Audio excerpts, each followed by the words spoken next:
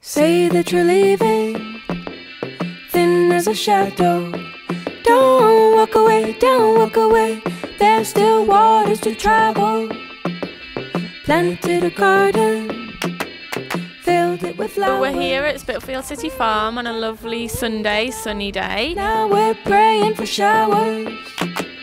Went for a short walk, found you some new shoes. I hope they fit, I hope they fit. Please let me tie them for you.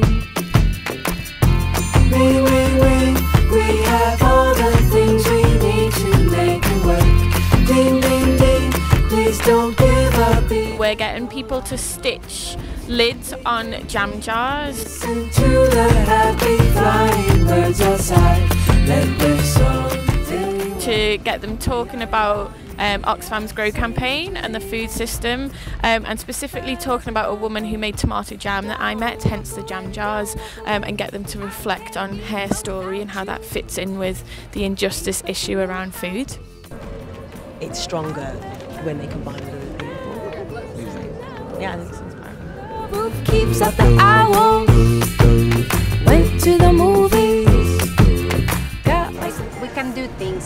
Definitely there are people up for it. monsters are really scary.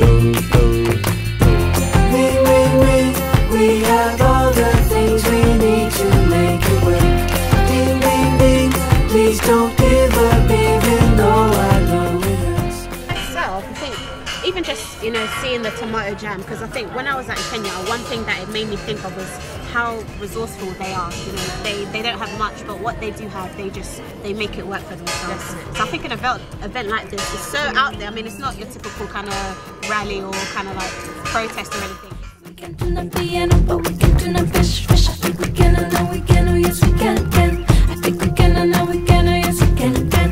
I think we can, I know we can. that something as simple as tomato jam could just spread and develop so many different conversations and just get everyone talking and hearing everyone's views um, you know on the actual issue really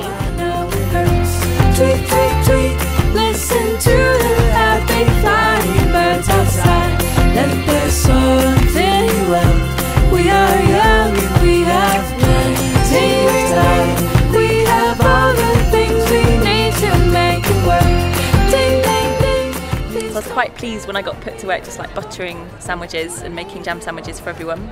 But yeah, it's really nice to see people trying trying the jam and enjoying it and fueling them in their craftivist activities. well after reading christine's story i found it really inspiring to see that this woman after having gone through so many hardships and her community having faced so many different things they actually came together and found a way to work through and find solutions. True peace will never grow strong in the soil of inequality.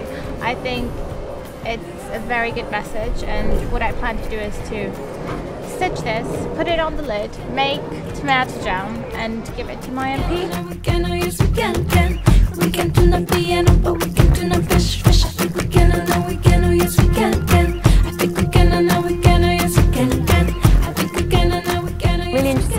the link between making things with your own hands and your sense of agency and empowerment of the world. And I think what the Craftivist Collective does is it takes it that one step further by saying that you can actually affect change through making something. And I think that has a really massive impact. To the happy flying birds outside. So coming along today was really a chance to sort of put a campaign into action, I guess. And I think it, it gives you kind of motivation for your craft in a different way to what you would have just by sitting at home and doing it on your own. Even though I know it hurts.